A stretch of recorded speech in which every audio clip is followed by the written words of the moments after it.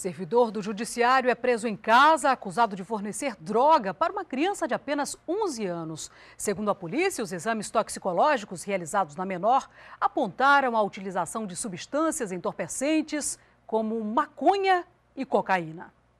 O auxiliar judiciário Agostinho Gomes de Souza Sobrinho, de 48 anos, foi preso em flagrante por policiais militares na noite da última quarta-feira. O acusado foi pego dentro de sua própria casa, fornecendo drogas a uma criança do sexo feminino de apenas 11 anos de idade. Agostinho, que presta serviços no Fórum Barão do Rio Branco, foi indiciado pelo delegado Rafael Marques e conduzido na sexta-feira ao presídio estadual. Agostinho ele veio aqui trazido pelos PMs e eles trouxeram uma menor que estava. Os PMs estão fazendo uma busca pessoal e encontraram, posse dele, uma menor que estava visivelmente entorpecida.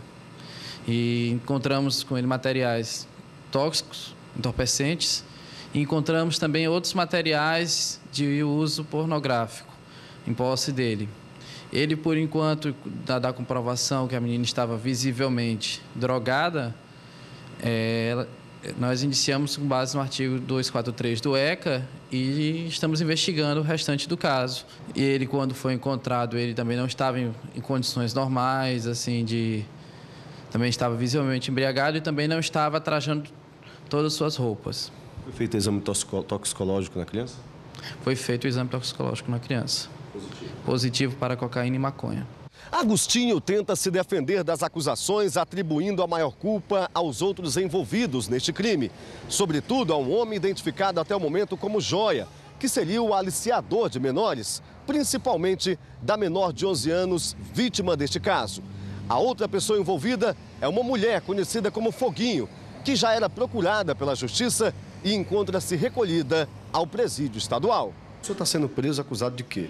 De ter, ter dado droga. De ter aliciado uma menor de 11 não, anos. Não, aliciado não. Ter dado droga para menor. O senhor se considera inocente?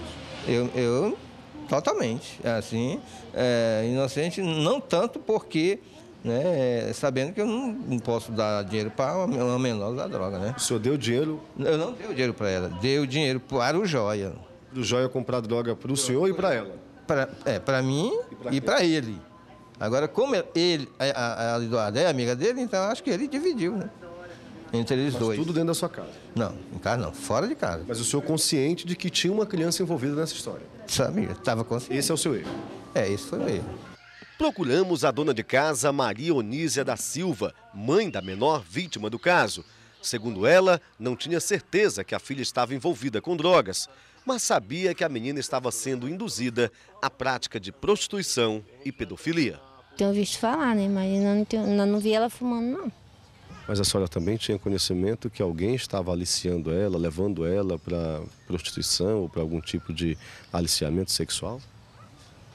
Eu estava acimando da foguinha, eu peguei a foguinha, dei uma pisnela testada aqui.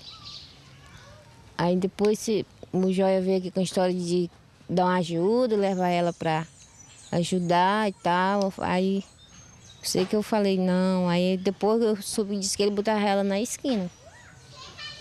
Para se prostituir? Sim. Ana Maria, a senhora inclusive está sendo ameaçada, sua filha principalmente estão sendo ameaçadas de morte, é isso? Foi, chegou a, a tal de Maria do Amor, chegou ontem à noite aqui. Aí falou, Maria, cadê tua filha? Eu digo, tá, tá aí. Não que ela estava lá no trapichão dormindo, dormindo, não. Um testemunho como ela passou a noite dormindo aqui. Depois que eu fui na delegacia, ela não saiu mais. Aí ela disse, é porque tem um homem aí que anda dizendo que se pegar ela, vai matar ela. A senhora sabe quem é esse homem? Não? Conheço não. Eu digo quem é, ela disse, não sei, uma pessoa aí. O que, que a senhora espera, dona Maria? Eu que espero que eu nem, nem dormir, eu não durmo, durmo mais de dia com medo. A senhora espera de proteção da polícia? Eu espero, né? A polícia espera nas próximas horas prender as outras pessoas acusadas de envolvimento neste crime sobretudo o homem identificado até o momento apenas como joia.